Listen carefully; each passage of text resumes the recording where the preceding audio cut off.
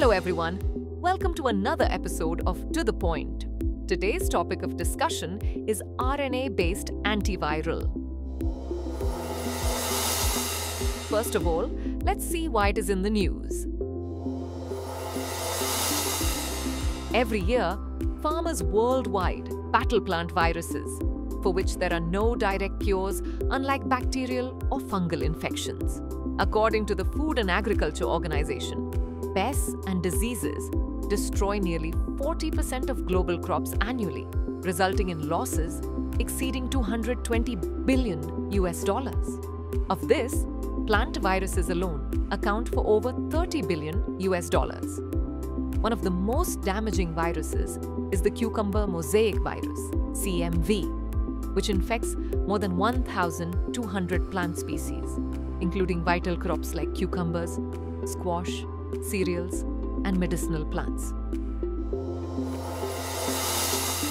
Now let's discuss about RNA silencing, natural defense mechanism of plants. Plants naturally defend themselves through a mechanism known as RNA silencing. When infected by a virus, plants detect double-stranded RNA, which activates enzymes called dicer-like enzymes.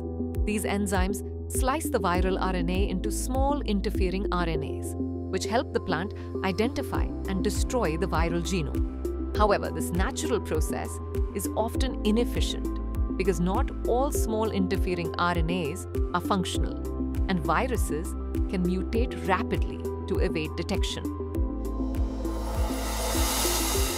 Now let's talk about RNA-based technologies.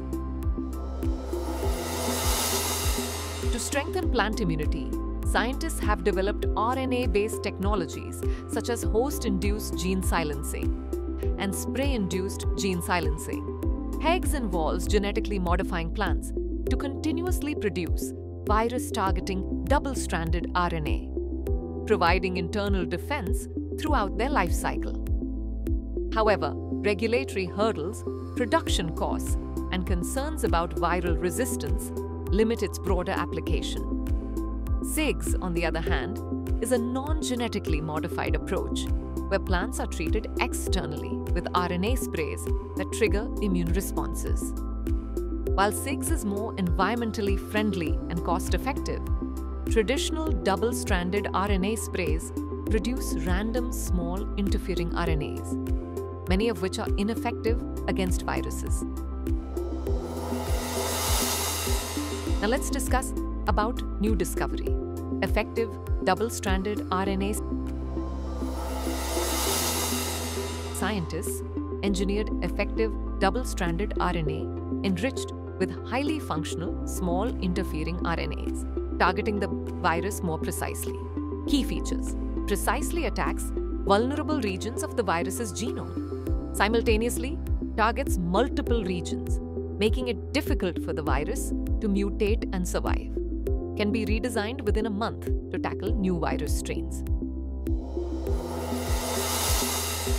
Now, lastly, moving on to challenges and future directions. Stability in outdoor conditions. RNA molecules degrade quickly under sunlight, rain, and microbial activity.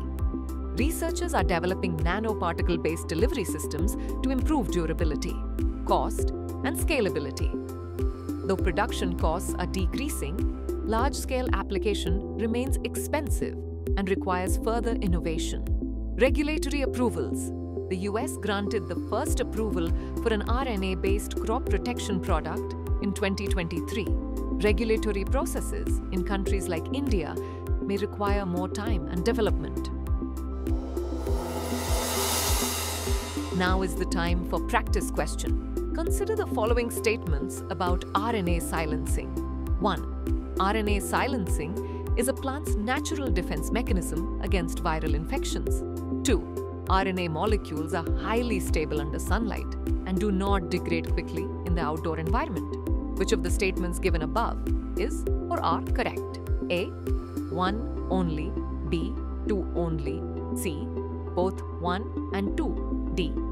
Neither 1 nor 2. Send the answer of this question in the comment section. Thanks for watching.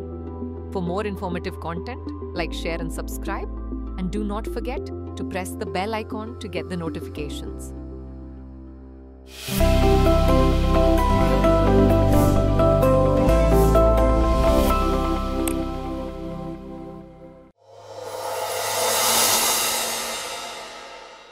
For more informative content, like, share, and subscribe.